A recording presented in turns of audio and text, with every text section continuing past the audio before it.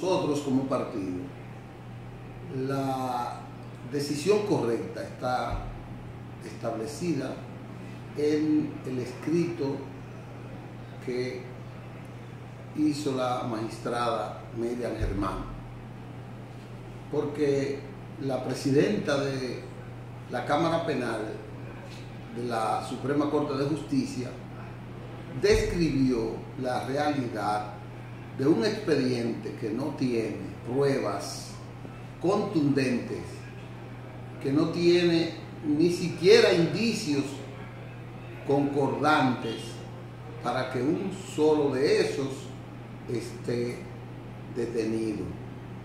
Porque, como ella dice, la mayor parte de los expedientes están sobre suposiciones mira que en gran parte los acusados están señalándole cosas que no han participado. Por ejemplo, André Bautista sale de la cárcel, pero duró ahí más de un mes.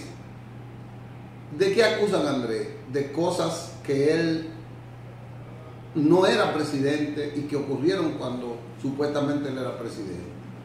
De cosas que él no era senador y ocurrieron cuando él no era senador.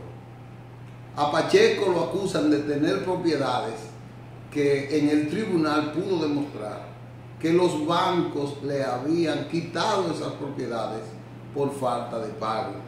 Es decir, esas propiedades no estaban ya propiedad, sino del banco.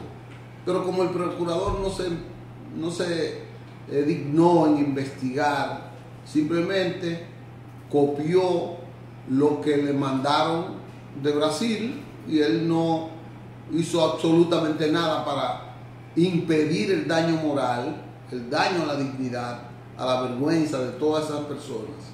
Él ha hecho un expediente muy débil. Con esto, las consecuencias son que mucha gente que quizás forme parte y sea culpable de algún delito de ahí, pues ya él no lo pueda demostrar porque no estructuró un expediente bien elaborado, como debió ser en un caso eh, similar y para la investidura de él, que es el ministro de Justicia del gobierno